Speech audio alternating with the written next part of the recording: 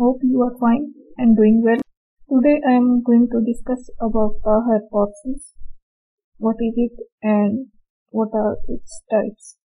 Hypothesis is a testable theory. A theory which we can test is called a hypothesis.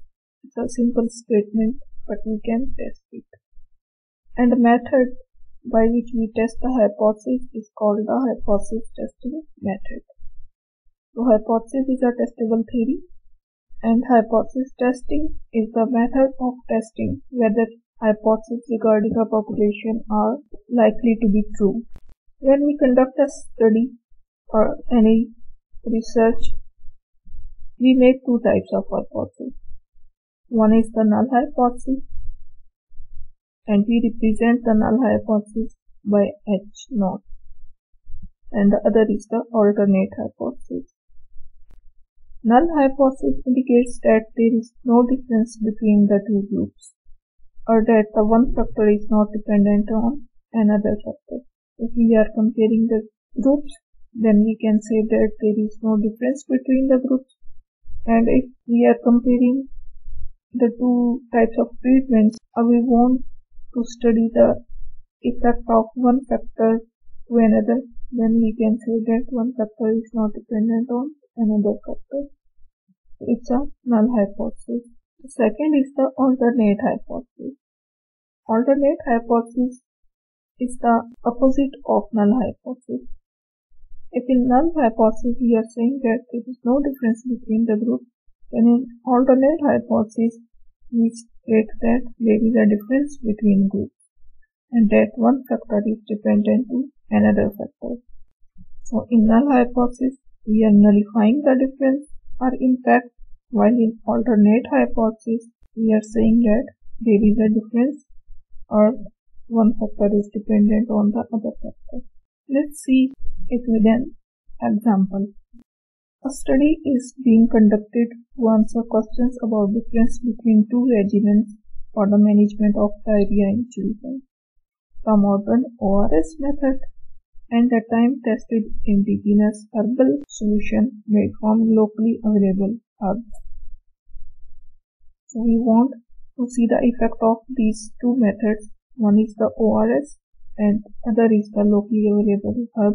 In this case, the null hypothesis will be there is no difference between the two regimens in terms of improvement. See, we are nullifying the difference between the two groups, one which is treated with the ORS and the other which is treated with the herbal medicine. The alternate hypothesis will be there is difference in terms of improvement achieved by a three days treatment with the ORS and that of the herbal solution. So it's the null hypothesis we are nullifying and this is the alternate hypothesis stating that there is a difference in terms of improvement. Another example, a researcher aims to look at the association between cigarette smoking and the lung cancer. The null hypothesis will be there is no association between cigarette smoking and lung cancer. In previous example, the comparison is between the two groups, one who received the ORS treatment and the other one who received the second type of treatment. While here we want to see the impact of cigarette smoking on lung cancer, one factor to another factor. In null hypothesis, the statement would be there is no association between cigarette smoking and lung cancer, while in alternate hypothesis, there is some association between cigarette smoking and lung cancer and cigarette smokers are more likely to develop lung cancer than non-smokers. We want to test this theory. Right? There is a difference between this and this. This can impact on this.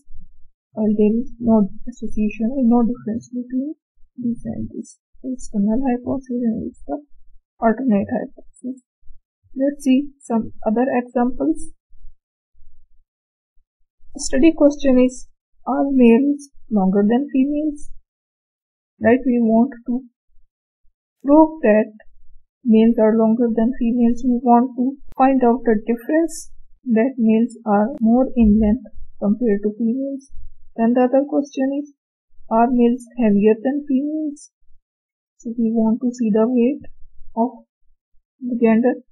And the other is, do males have a larger head circumference than females?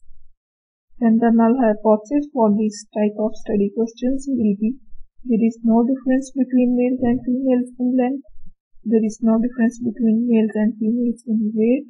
And there is no difference between males and females in head circumference. And if we convert this null hypothesis into alternate hypothesis, then the statements would be something like that.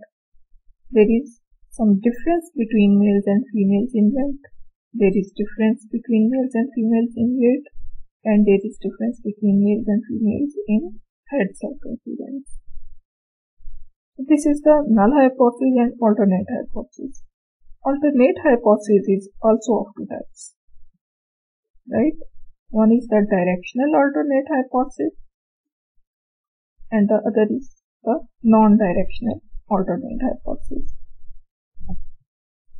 So the directional hypothesis is the hypothesis in which researcher is able to state the direction of the relationship between the population. He can state that the effect is positive or the effect is negative. So if we see the previous example, example of ORS and herbal solution, there is a difference in terms of improvement, right? In terms of improvement. Improvement achieved by a three days treatment with the ORS and that of the herbal solution. So we are stating that there is some improvement. It means that improvement in a positive direction.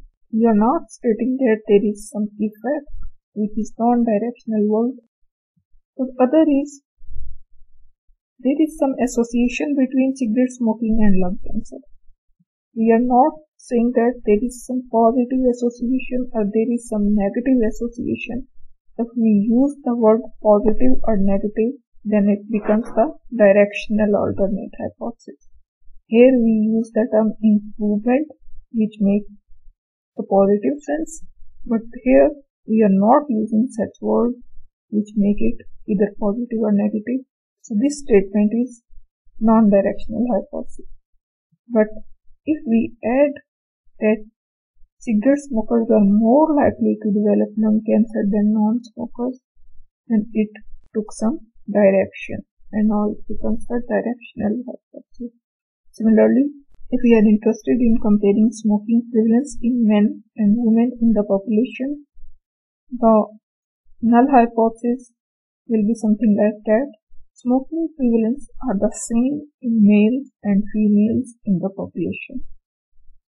See, there is no difference between the males and females smoking prevalence.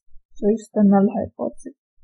And the alternate hypothesis would be like that smoking prevalence is more in males compared to females. Right? Again, we are stating that is more in males compared to females. Or we can use the word is less in males compared to females or is less in females compared to males. So it's become a directional hypothesis. If we convert it into non-directional, then the statement is something like that. There is difference between smoking prevalence in males and females in the population. So this statement gives no indication about the direction of the hypothesis. So in conclusion, hypothesis is a testable theory and the method by which we test the hypothesis is called the hypothesis testing method. For any research, we made two types of hypothesis. One is the null hypothesis and the other is the alternate hypothesis. Null hypothesis states that there is no difference while the alternate hypothesis indicates some difference. Alternate hypothesis is of two types directional and non-directional. Directional, which indicates the direction of the relation between two factors or two populations, and non-directional, which provides no information about the direction. This is about the hypothesis and its type. Thank you so much. All the best.